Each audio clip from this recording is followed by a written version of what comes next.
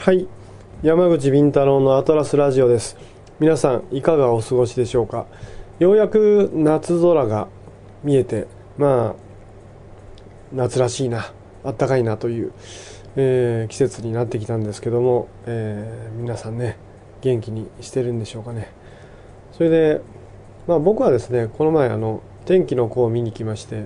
非常に感動いたしました。これアトラスラジオのアーカイブでも感想を、えー、語ってみましたので、えー、聞いてみてください、えー、それとあとあの水木しげる先生のですねアシスタントだった土屋慎吾先生にインタビューをやってます。でアトラスラジオ2回分といっても2回分がですねかなりオーバーして、えー、2回目がですね40分ぐらい喋ってるのかな。あのまあ貴重な話なんですね。あの前世紀の水木しげる率いる水木プロダクションがどんな感じであったかというのが非常に詳細にわかる。で妖怪図鑑の時にだらどのアシスタントがどの妖怪を担当したか。でどうやって妖怪のデザインを組んでいったかっていうところが分かるっていうのがなかなか貴重ではないのかなと思っております。それでまあねあのいろいろな事件が起こっております。まあ京都アニメーションの放火事件で犯人がまだ完全に回復してないがために動機が明確にはっきりと、まあ、掲示されることなく皆さんモヤモヤが募っている中また1名亡くなった方が増えまして35名ということです。でこの犯罪は許し難い犯罪ですのでまあ犯人をどうにかえー、命を延命させて流れさせて、えー、動機とそれでどのような準備をしてどのような犯行をやったのかというそういう全ての、えー、事件の背景を明らかにしていただいて、ね、今後のテロ対策とか防犯対策に役立てていただきたい。そしてあの犯人を刑に服するまあ死刑でしょうけどあの刑に服することが法治国家である日本の役割ではないのかなと思っております。それでえー、っとですねまあ今回ですねいろいろなことを喋ろうかなと。でリクエストで多かったのがあのビンタロウさんが育ったラジオ文化について語ってくれないかというリクエストがありました。まあこうねこういうふうにねインターネット YouTube のインターネットラジオとかねあとポッドキャストとかまあポッドキャストで僕の日本大好きもやってますけどあのまあヒマラヤ FM とかねまあヒマラヤですか。なんか中国語で正確に発音するとヒマラヤをシマラヤって発音するみたいですね。まあどうでもいいか。それ中国人のあの知人が言ってましたけど、えー、シマラヤシマラヤ言うんですよ。お前江戸っ子みたいだなとか言ったらいや中国ではこういうふうに発音するんだって教わりましたね。あシマラヤっていうのねなんて。まあどうでもいいですけど。まあシマラヤ FM とか、えー、まあこの YouTube とかニコ生とか。でまあオカラジもそうなのかな。であのまあポッドキャストも当然そうでしょうし。インターネットラジオネットを媒体としたこういうラジオ的なものっていうのは非常に盛んになってですね。あの気軽に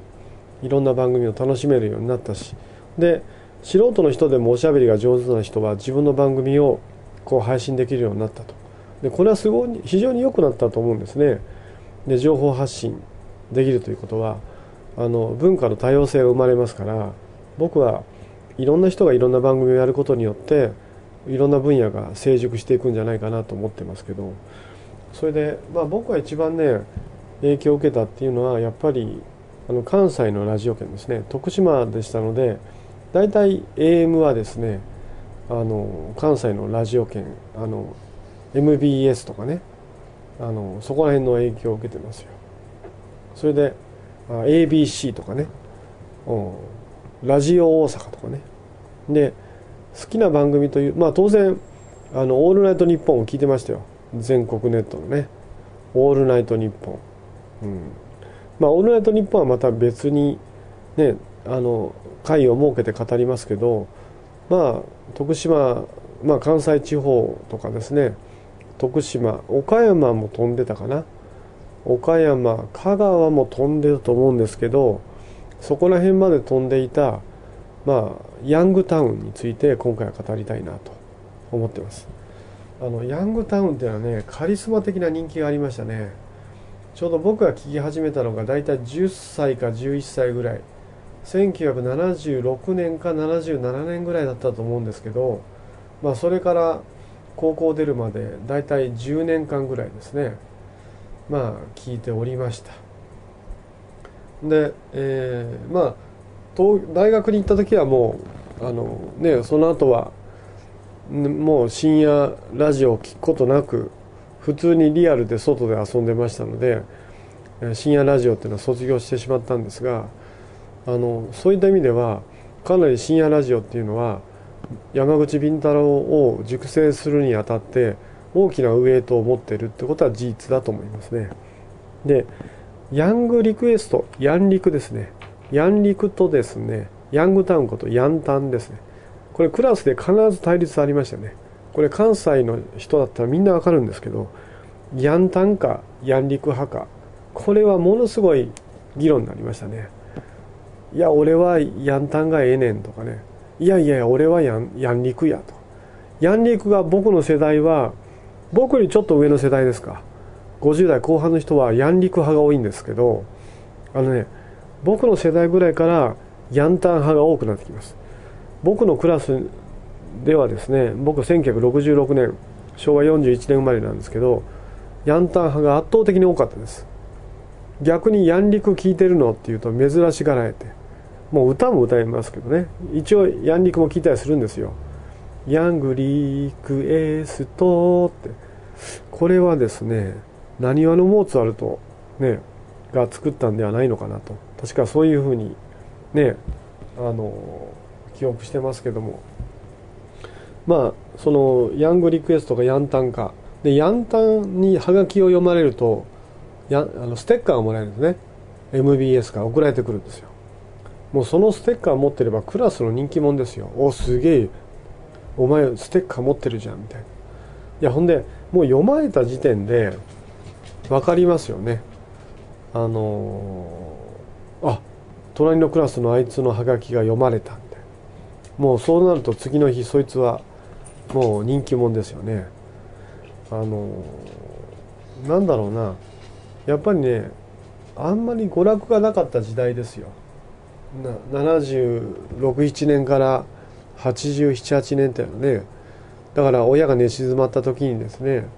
ラジオをね布団のそばまで持ってきてそれでイヤホンとかで聞いてるんですね。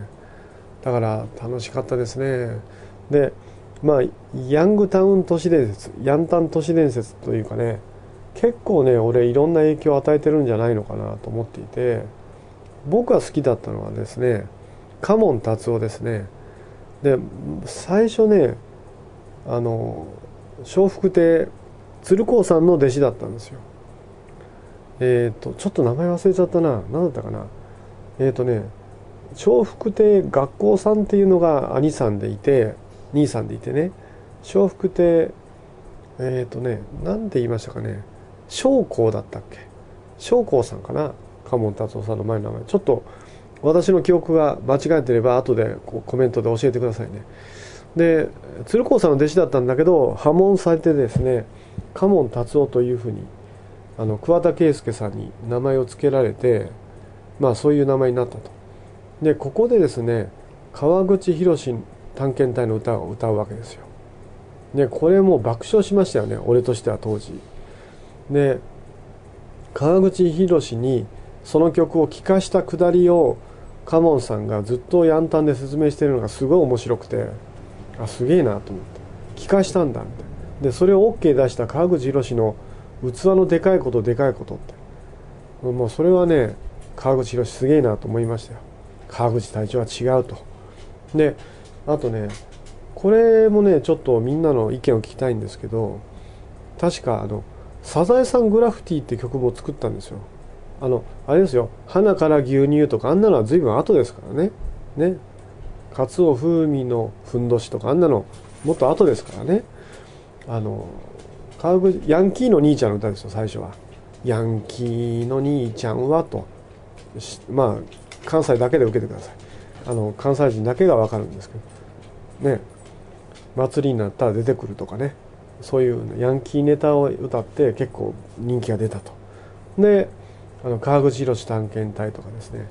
僕が好きだったのはこれ幻の歌になってしまったんではないかと思ってる「サザエさんグラフィティ」これね多分カモンさんがライブで歌ったりはしてるけどアルバムには収録できなかったと記憶してるんですよね。ちょっとその辺りも情報が欲しいところですがサザエさんグラフィティはもうちょっと覚えてますよ。サザエさんグラフティみたいな曲なんですよ。でワカメちゃんとかカツオ君とかをの矛盾点とかおかしい点をいじっていくんですけどでこれもですね長谷川町子先生に、まあ、当時ご存命だったので許可を取った時の反応というのをカモンさんがずっとラジオで喋ってるのを聞いて結構もうスリリングな感じがしましたよね。なんかあの宅のサザエはそのようなものに歌われ歌いたく欲しく歌ってほしくないですと申しておりますみたいな。なんかうちのサザエはみたいなことを長谷川町子先生が言ったみたいなことを鴨門達夫さんが言ってたのを記憶してますよね。いやだからねなんかねカモンさんが破門されて名前を変えてでいろんな歌を歌ってどんどん全国ネットのメジャーなね替え歌のとかパロディソングの大会になっていく過程をヤンタンで見ていてすごいあのヤンタンのファンとしてはヤンタンファミリーを日本全国区に押し上げてすごい嬉しかったなっていう気があります。であと好きだったのは僕は鶴瓶さんのねヤングタウン面白かったですね。あの沢田研二の TOKIO あれが79年かな。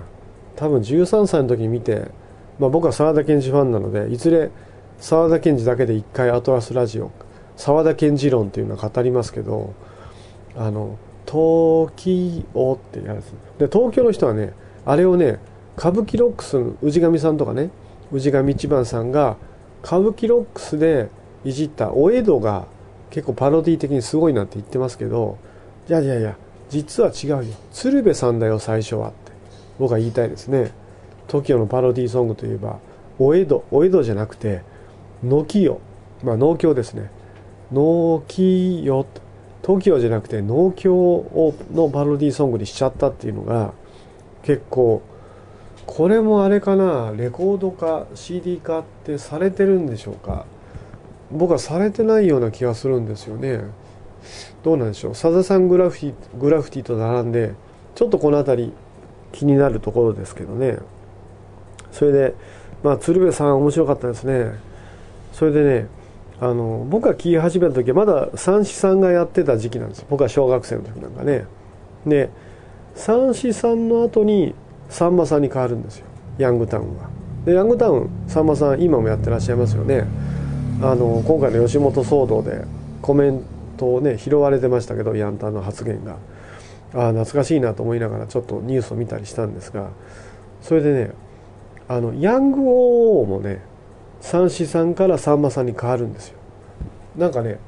僕は子供心になんか吉本の中で三枝の後はさんまっていう流れができてんのかなっていうふうにこれ戦略なのかなっていうふうにまだ小学生ですけど思いましたよね。でさんまさんがですね当時大阪ガスの CM に出てたんですね。知らないかな。明日を信じて燃え尽きろ頼れるエースはなんだなんとナンバー4かな。なんかこんな歌だったような気がするんですけどちょうどね江川騒動で小林が移籍した時にさんまさんが小林のモノマネをやってたんですね。それで確か大阪大阪ガスだったと思うんですけどね。大阪電力ではなくての CM に出ていた感じであこう明石家さんま面白いな若手芸人ナンバーワンだななんて思ってた記憶があります、ええ、それで三枝さんの後を受けてもう僕が聞き始めてすぐ三枝さんが優待されてあのさんまさんに変わるんですよ。でヤング王もさんまさんに変わってヤング・オー・オーって始まる。でザ・パンダとかね。だから小染さんとかね結構ねいろいろ懐かしいメンバーが出てましたね。だからお酒飲んで小染さんが車にひかれて死んじゃった時はショックを受けましたよ。まあ面白い関西の文お笑い文化のど真ん中で僕は育ったっていう経験がありますよね。でまあさんまさんの番組を聞いていた。でまあ当然鶴瓶さんの番組を聞いていた。でまあねあとあのや屋敷隆人さん。高人さんもですね番組やってたんですでね屋敷隆人はあの結構僕好きだったんですよ。割とハードな内容で割と大人の雰囲気でねヤンタンやっててね。で後に僕がそこまで行って委員会で高人さんに初めて会った時「おお君が山口君か」って。まあ高人さんの思い出も僕はアトラスラジオで語りますけどと言われまして「ああ高人さん僕高人さんのヤンタンで育ったんですわ」って言うたら「あそうヤンタンか。おそういえばそんな番組やってたな」って。意外と高人さんはヤンタンのことはスルーしてましたよね。いや本当はガンダムの歌があの砂の十字架が好きなんですと言いたかったけど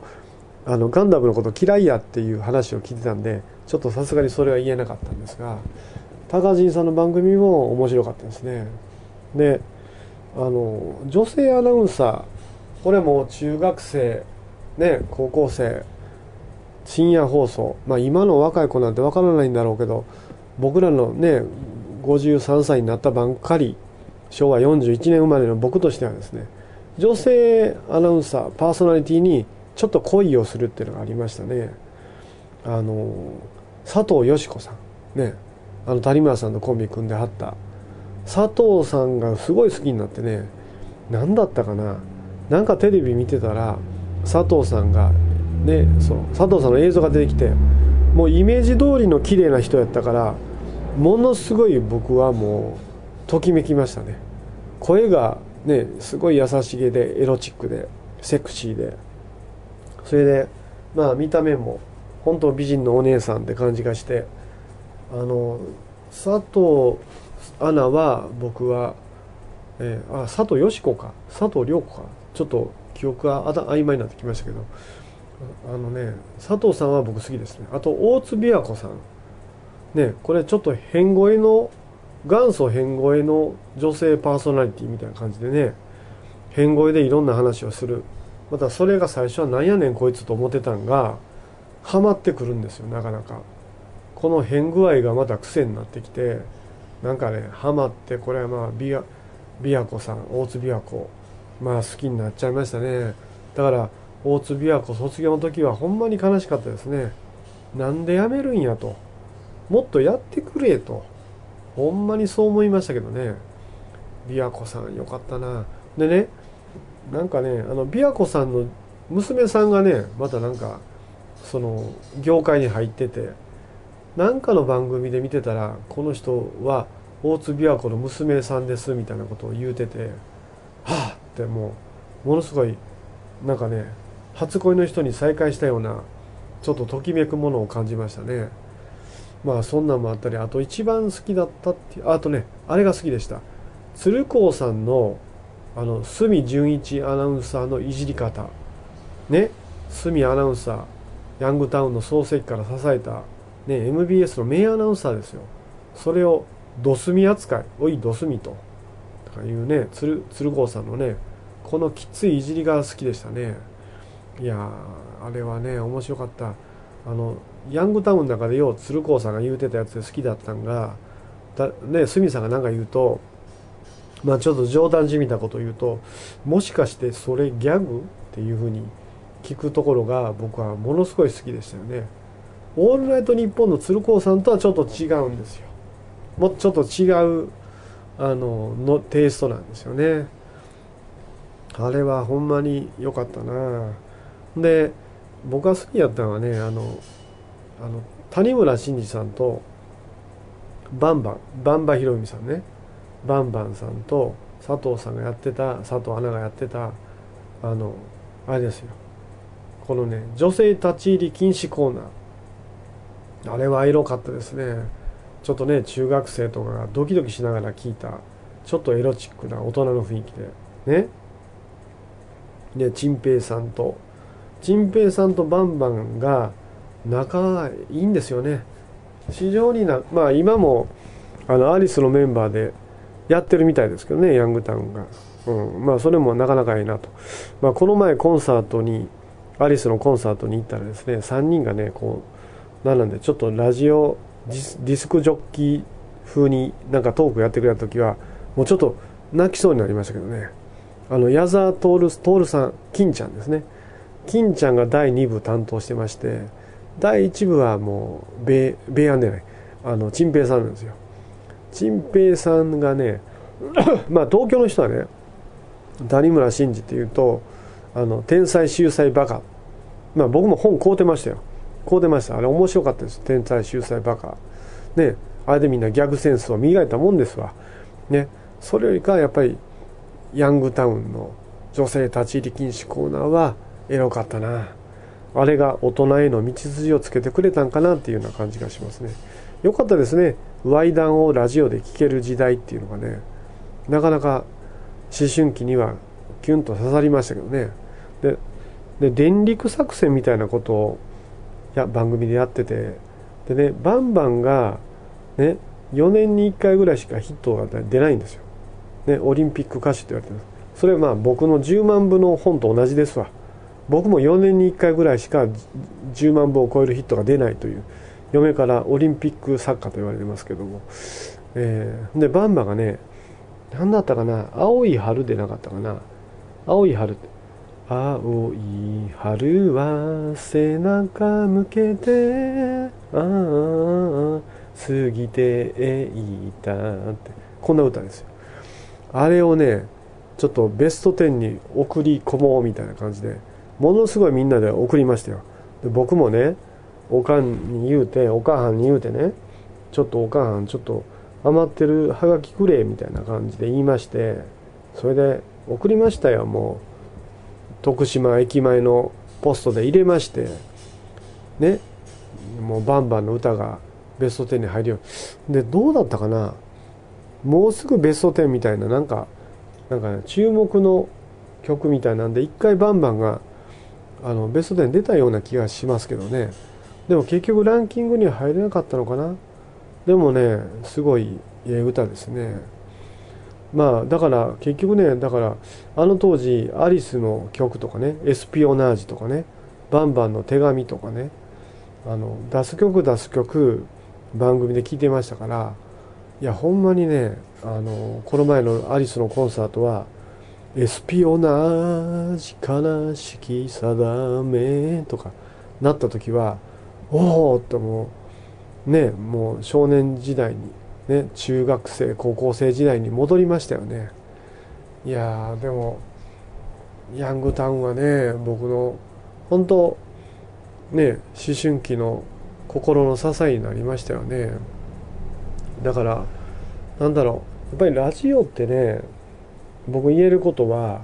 なんか結局親も兄弟もね弟とかも寝静まって誰も家の中シーンとしてるんですわ。